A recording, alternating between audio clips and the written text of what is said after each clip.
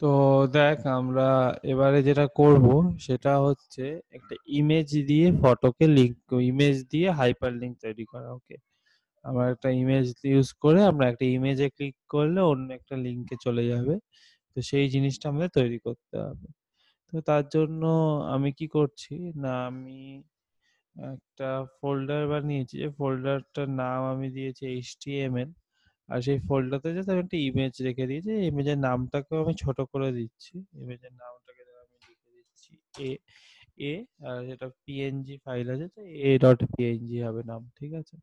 তো আমি এই ফোল্ডারে এই দুটো এইচটিএমএল এর পেজ তৈরি করছি ওকে দুটো এইচটিএমএল এর পেজ আমি এই ফোল্ডারে তৈরি করছি। তো আমি এখানেতে গেলাম আমার টেক্সট এডিটরে তো আমি এখানে একটা নিউ ফাইল তৈরি করলাম। নিউ ফাইলটাকে আমি সেভ করছি হচ্ছে একটাকে।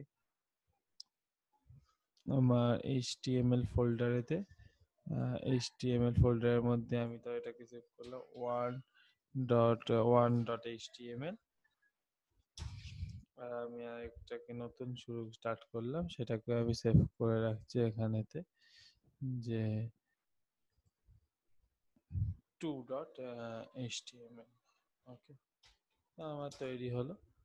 এবার আমি ওয়ান ডট এইচটিএমএল এর মধ্যে কিছু কোড লিখব, যা সেটাকে আমি একটা ইমেজকে লিংক করার জন্য যে আমি ধর এটাকে নাম দিলাম হচ্ছে image link image link image link দেওয়ার পরে বডিতে এলাম বডিতে আসার পর কিছুই না নতুন একটা প্যারাগ্রাফ একটা এইচ ওয়ানের মধ্যে জাস্ট আমি এইচ ওয়ানের মধ্যে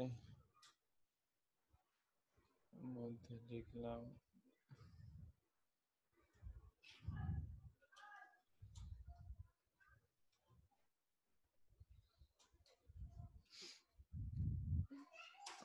ওয়েলকাম আর এর মধ্যে আমি এবার একটা লিংক করতে চাইছি লিংক করার জন্য আমরা যেটা একটা ইউজ করি, সেটা কি আমরা কি টাইপ করি? সেটা হচ্ছে আমার অ্যাঙ্কার ট্যাগ অ্যাঙ্কার ট্যাগ আমরা এ হাইপ অ্যাঙ্কার ট্যাগ নিলাম, ঠিক আছে?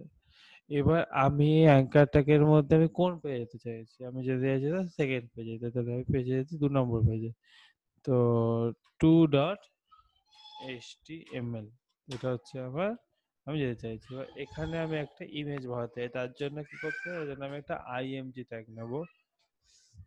আইএমজি ট্যাগ নিলাম সেই আইএমজিটার আমার নাম কি ছিল? আইএমজিটার আমার নাম ছিল হচ্ছে এ ডট পিএনজি তাই তো? আইএমজিটার নাম ছিল হচ্ছে আমার এ ডট পিএনজি তাহলে এ ডট পিএনজি তা আমি একটা এরকম একটা পেজ বানিয়ে সেভ করে দিলাম।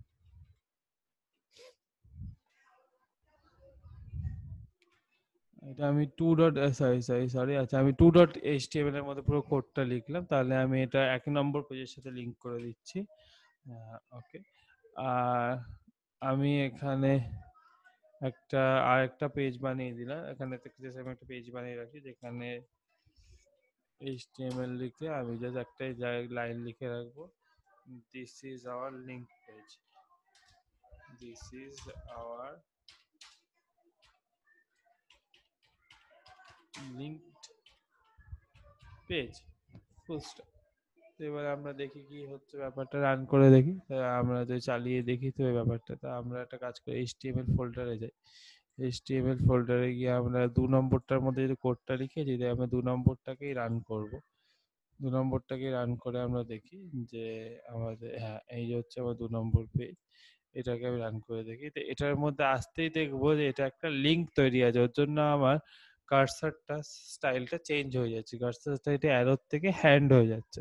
এবার যে আমি এটা ক্লিক করব, তাহলে আমার এটা অন্য পরে পেয়ে চলে যাচ্ছে আর this is our link page তো বুঝতে পারছি ব্যাপারটা কীরকম করে হচ্ছে যে আমি একটা আবার আগের পেজে যে ছিলাম, এই এই পেজে ছিলাম, এই পেজে ছবিটা আমি যেই ক্লিক করছি, সঙ্গে সঙ্গে আমরা এখানে চলে আসছি। এবার তোরা ছবির সাইজ অ্যাডজাস্ট করার জন্য যা হাইট উইথ যেরকম করে দিস, ওটা তোরা ওই এখানে যে আমাদের কোডিং সেকশনে আসি, তাহলে বোঝাতে পারব। তো কোডিং সেকশনে এই যে আমাদের যে আমি ইমেজ সোর্স দিয়েছি এরপরে তোরা হাইট উইথ যা খুশি অ্যাড করার জন্য ইমেজেতে যেমন ভাবে ইমেজ এসআরসির মধ্যে কাজ করিস সেম কাজ এখানেও করতে পারবি, কোনো অসুবিধা নেই।